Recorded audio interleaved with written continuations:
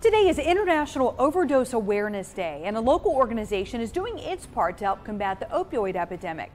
New River Valley Community Services is hosting its second annual candlelight vigil tonight in Bisset Park. The vigil is open to all who have been impacted by over opioid abuse and overdose. The event will include a short program with treatment providers, public health officials, and members of the community who have been directly affected, like Christine Stewart I want to tell them that if they think that they can't change, that they can, and that there are opportunities and resources and people that want to help out there.